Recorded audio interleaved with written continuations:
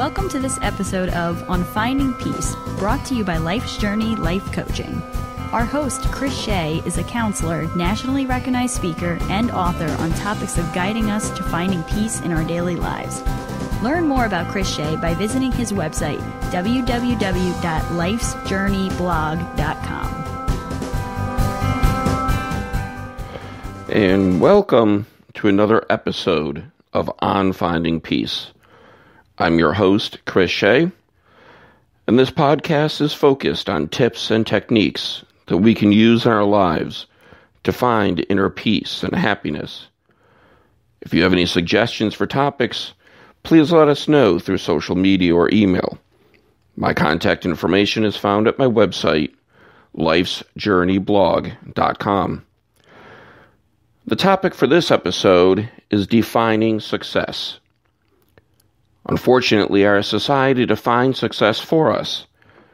And as we strive to meet the expectations of our society, we lose ourselves and our sense of inner peace. In this episode, I'll talk about perspective on success and provide four tips on how to shift our perspective so that we can be successful and maintain our inner peace.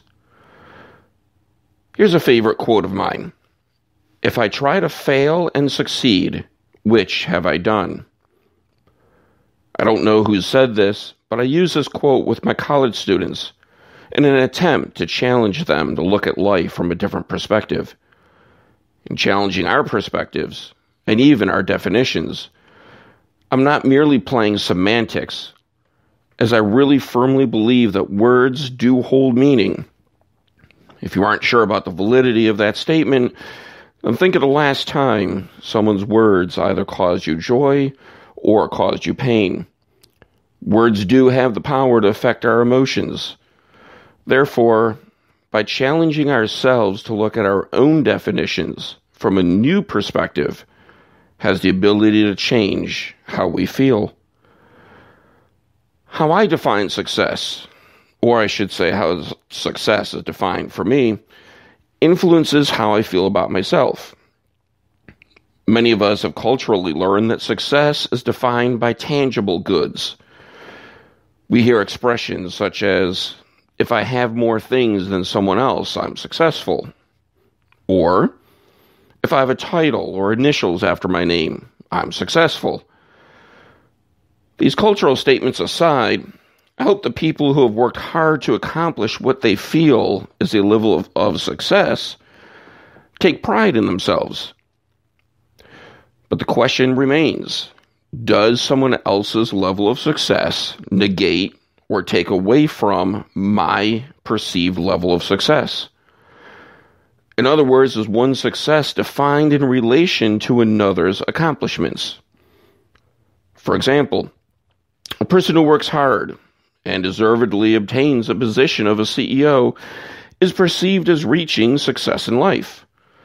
While another person who works hard and is known to be, let's say, the best plumber in town, although an employee of the company, not the owner or partner, wouldn't we agree that that person also has attained success?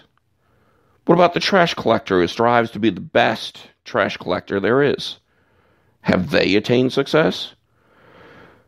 If we agree that the people in these examples have attained success, would we also agree that each of them is equally as successful?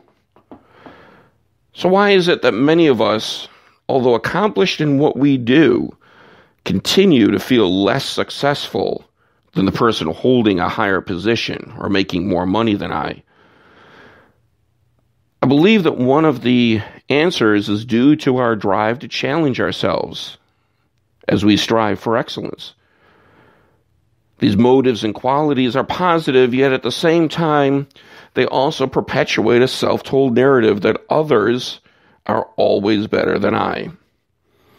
Does this mean we shouldn't strive for betterment? Of course, we should strive to better ourselves, but not at the cost of sacrificing our core being or our inner peace. Here's a quote which is attributed to the Catholic priest, Father Joseph Martin. He was the co founder of Father Martin's Ashley. And he states, The good is the enemy of the best. Striving to grow, mature, and gain wisdom leads us to feelings of accomplishment and possibly even success. But that depends on our definition of success. So I've just kind of taken us back to the beginning of this uh, discussion, but not any closer to any definitive answer. Is there a definitive definition of success? Can we objectively apply one definition to everyone? Or are we left with a subjective understanding of the concept of success? Personally, I believe it's the latter. If the definition is subjective, then how do I define success for my own life? I suggest that each of us challenge and change our perspective on success from one which is based on societal objectivity with its comparison to others to a perspective where we strive to obtain success as defined by our values, thereby leading us toward an inner peace, happiness, and self worth. In making this perspective shift, it requires us to look within ourselves, to examine our motives for wanting to better ourselves. As I had mentioned, the desire toward betterment is a positive notion yet it depends on my motivation. We need to ask ourselves why do I desire to be better? Why do I strive for success? How will I know that I've achieved success? Is my motivation toward betterment and success based solely on the belief of beating everyone else? If so, then I may be willing to compromise my core being and values to achieve that height of success or else I may view myself as a failure. In this scenario, one success comes at a price. The idea of seeking betterment is not the issue. The motivation guiding us is, in the end, what causes us to gain everything, yet continue to feel empty and restless. So, how can I change my motivation and perspective on success so that I can attain the best I can be and still feel inner peace. Here's four tips. Number one, meditate. Take time each day, even if it's just 10 or 20 minutes, and meditate. Find a quiet location or take a walk, whichever helps you best to focus. Focus on your breathing. Don't try to control your breaths, just notice them. Be aware of the air entering and the air leaving. Be aware of what you're feeling. Don't judge the feeling, just notice it. Practice this every day, and over time, you'll notice that not only is the act of meditating easier, but you yourself will be feeling more at peace. My second tip examine. Take time to reflect on what success means to you. Don't judge your definition, simply define it. How does your definition make you feel? Does your definition match with your core self and your values? If not, ask yourself what you will need to change so as to create a match. Keep in mind that sacrificing who you are for temporal gain will not, in the long term, bring you to a state of peace. My third tip confer. Take time to meet with family or close friends whom you trust to discuss your thoughts and feelings from the above two tips. Listen to them without judgment. Listen to their feedback. And the next time that you meditate, reflect on that feedback and on your feelings concerning what you just heard. And my fourth and final tip act. A saying that I often repeat is there are no problems, only solutions. Let me repeat. There are no problems, only solutions.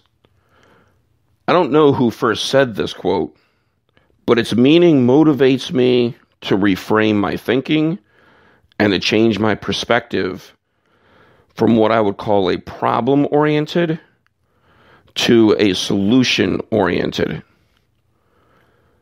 It's creating a deep belief that solutions are possible.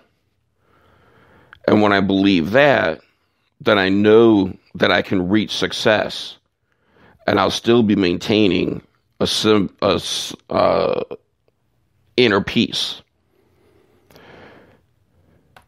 I'd like to hear from all of you on the tips that you would add to the tips that I uh, just stated. If you go to my website, you'll find the many social media ways to connect with me and to share your thoughts. I hope that you found this episode and my tips helpful. And if so, I encourage you to spread the word by telling your friends. Thank you all for listening and have a very mindful day. For listening to this episode with Chris Shea. Learn more about Chris Shea by visiting his website, www.lifesjourneyblog.com.